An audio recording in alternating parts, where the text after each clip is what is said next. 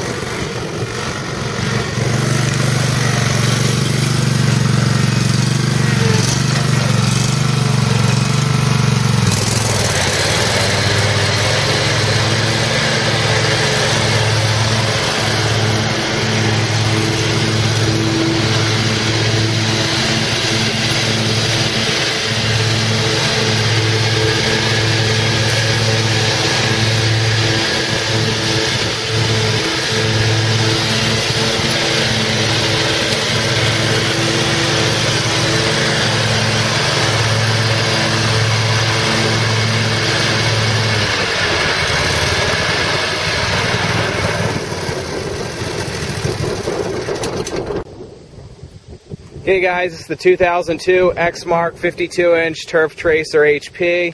Um, the deck on this machine is in good operating condition. The deck spindles are tight. The deck has been touched up as far as the paint goes and new decals were put on it.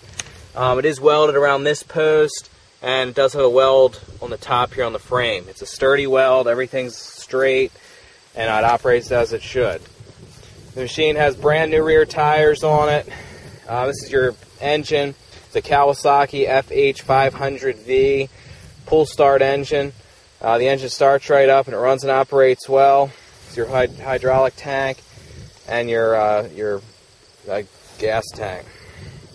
This is your console with the key switch, your speed control, and your throttle and choke. And uh, this is your manual blade engagement. Everything operates as it should as far as those components go. It does have the sulky bracket if you wanted to put a sulky on it. Uh, the hydro pumps are in good operating condition. I did notice a little bit of oil seeping out of the one pump, um, but everything operates as it should, as you can tell. It's a good running and operating machine, brand new muffler, and uh, if you have any other questions or anything like that, just send me a message. Thank you.